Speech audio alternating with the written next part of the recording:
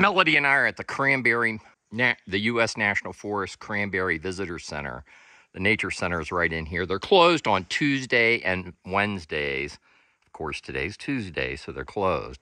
There was a worker over there, and uh, he had told us that the Cranberry Glades Boardwalk is open.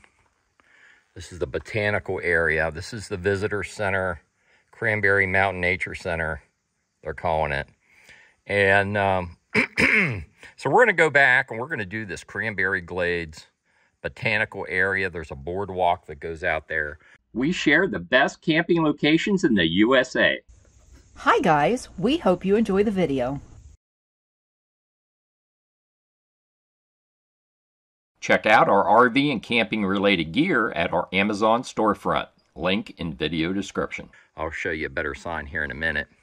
But we're also doing the Highlands Scenic Highway. Um, this is a this they have pullovers along this highway. In fact, the entrance to this highway is right across from the visitor center on this this uh, Route 150. And it'll take you all the way to the Tea Creek Campground. That's the lowest point, and then back up the other side. And we're camped over here in in Marlinton. So we're going to make a big loop after we do the uh, the uh, it's a boardwalk that takes you out into the Cranberry Glades Botanical Area. That's a very short drive from this visitor center. Let me take you over and show you the. They have a better map over here on this side.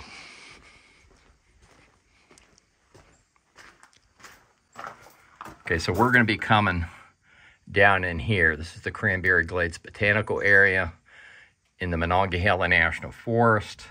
There's a parking area here, and this is a boardwalk that'll take you out here. And they were renovating that. It was closed for a while. Of course, that's what it said online. So I just asked this gentleman uh, that works for the Forest Service, and he said it was open. So we're going to take a drive down there right now and go explore this. It appears the Cranberry Glades Boardwalk is open here in the Monongahela National Forest. And this is August of 2024. They have a uh, parking area with sufficient parking. You have uh, a set of vault toilets down there. There's a picnic area, a walk-in picnic area right across the street. It has been years since Melody and I have been out this trail. When we went, it was a boardwalk Cranberry Glades in West Virginia is a unique and special place due to its rare ecosystem, which is more commonly found in northern Canada. Here's what makes it stand out. A unique ecosystem. Cranberry Glades Botanical Area is a high altitude bog that resembles a northern tundra environment, which is rare for this far south in the United States. The bogs found here are acidic, which support a variety of unusual plant species. This area is home to many rare and unusual plants, to include sundews, pitcher plants, mosses, and native cranberries. You'll also find orchids, ferns, and other species that have adapted to the bog's unique conditions. Wildlife. The bog provides habitat for various wildlife, including black bears, deer, and many bird species. The boardwalk, a half mile boardwalk trail, allows visitors to explore the glades without disturbing the delicate ecosystem. Cranberry Glades truly is a special place in my home state of West Virginia. Uh, they ha- we're supposed to be doing some renovation. Is uh, my understanding this was closed. I got that information online, but we stopped up at the visitor center and a worker up there said it was open and apparently it is. Let's go check out Cranberry Glades Boardwalk. Sure you go the right way, folks. Okay, so uh, it does say stay on boardwalk. And this does this makes a loop.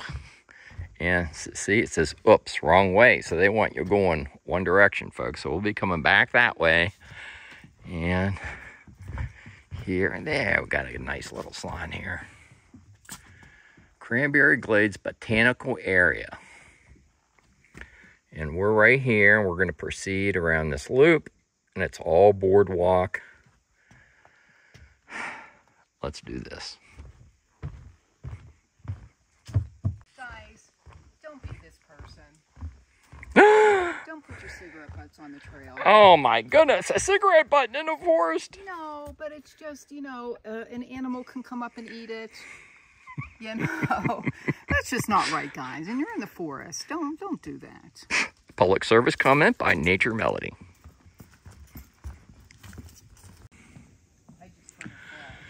Well, these are pretty. Not sure what these are, but uh, it is a pretty flower.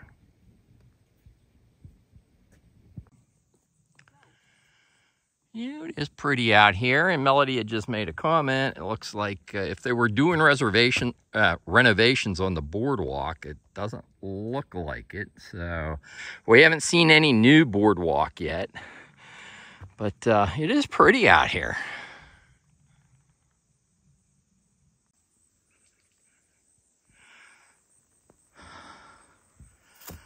So this is, uh, I love all the pine. Just uh, soak that pine in for a moment, folks.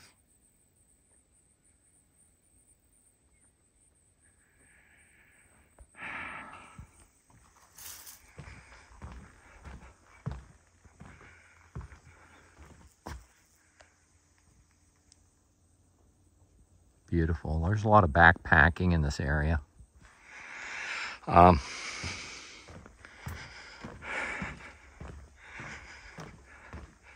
I've previously did a lot of backpacking, but uh, I had some health challenges here in the last year, and I don't think it's advisable to be doing any overnight backpacking.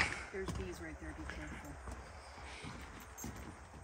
According to this, the best time to come and see the cranberries open is in the fall. In the fall. Yep. Oh, look at this. In the fall, the brilliant red berries are much more visible. I need to show you something. I can't figure out what this is here. Watch the bees. Look at this white. Huh. Oh, there are bees over there. But what is that white stuff? And it's on the ground too. I think I'll zoom in instead of walking over there with the with the bees. But I can't figure out. What I that- don't I don't know what that white stuff is. Hmm. But whatever the white stuff is, the bees. Oh, you know what? There's black stuff on the leaves, and it looks like the bees are going for the black stuff. Huh. Why don't you go touch it and see what it feels like?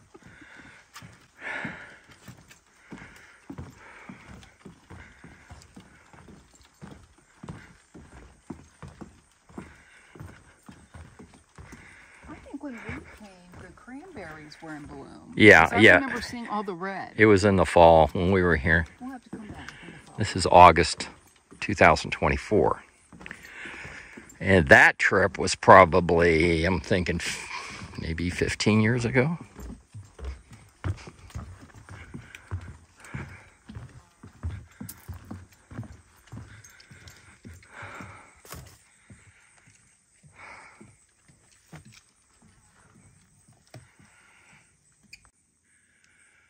So this is a, a good area. You can kind of see, because up in Dolly Sods they have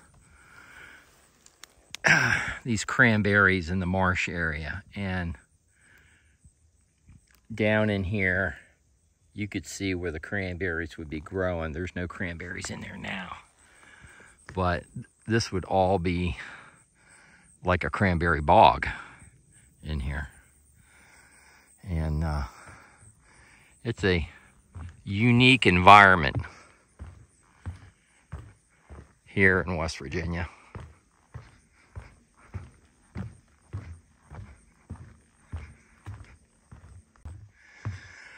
Well, well, see, it uh, it pays to put boots on the ground, folks, because they did do some renovation out here.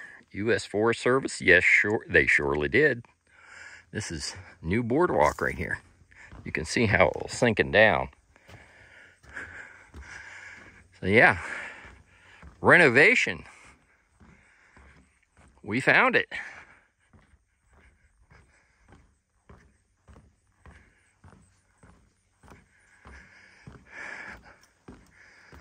What's this say? For Pete's sake.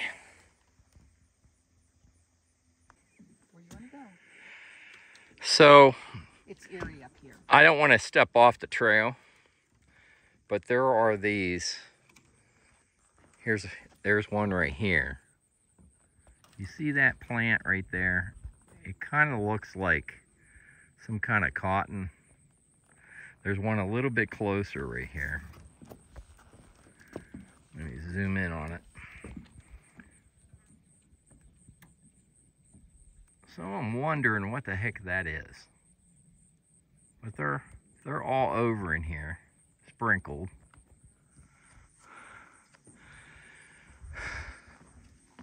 You can see them over in here too. There's a bunch of them. See them, the, little white dots going through here.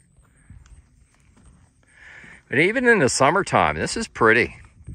And this will probably light up with some yellows in the reds in the fall. There's backpacking trails just up the road here. In fact, uh, there's a backpacking trail that makes a loop. I think it's like a maybe a five mile loop, six mile loop, seven mile loop, something like that.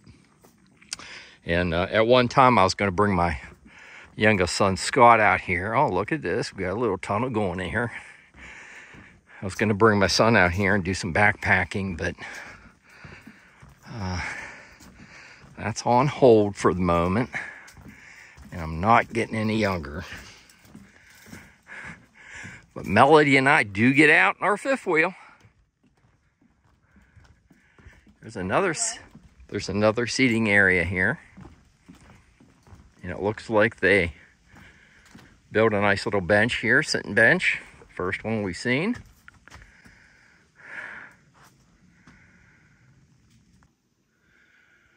So just beyond the sitting bench, you're going to see Yew Creek. And uh, you got a little bit of water running down through there.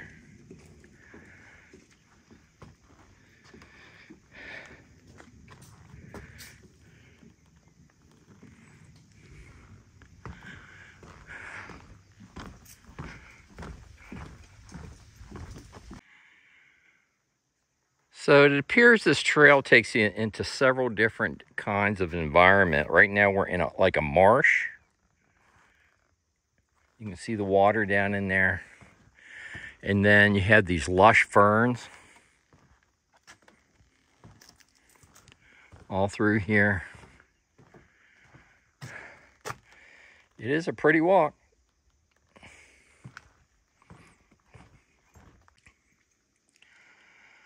I absolutely love the pine in my home state of West Virginia. This, uh, isn't that cool?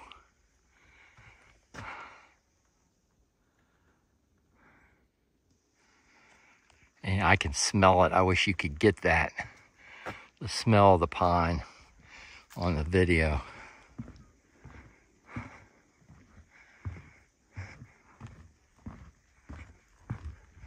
Here's some more of these things. Oh, now I can get a real close shot. There's an app that we could get. It's called Plant Finder, and it tells you what they are. Plant finder. Yeah, so we might have to see, download that app.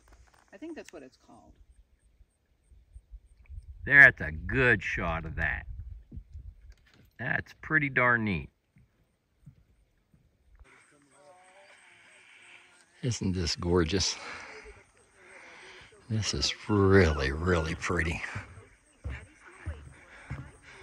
Yeah, it really transforms the environment as you progress on this very short boardwalk.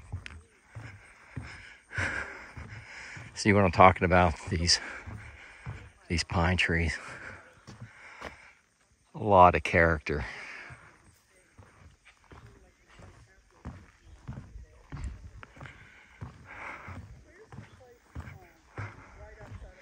Got rhododendron in here.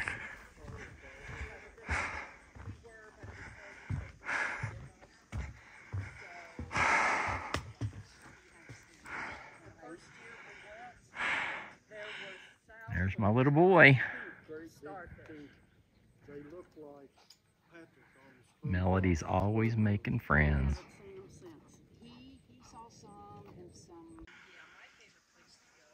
So you cross Yew Creek a second time on the boardwalk and check out these beautiful flowers that are sprinkled through here.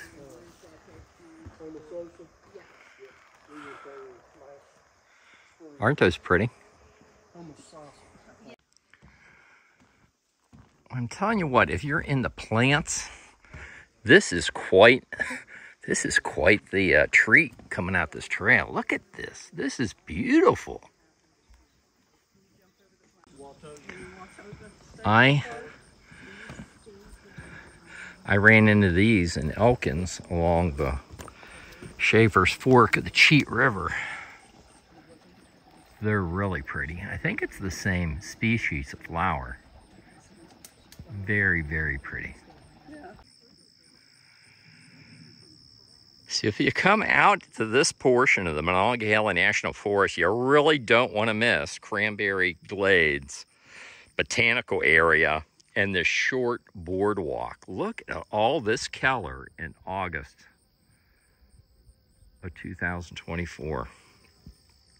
And so many different environments you go through. Here we have the these trees that are have died with the pine backdrop.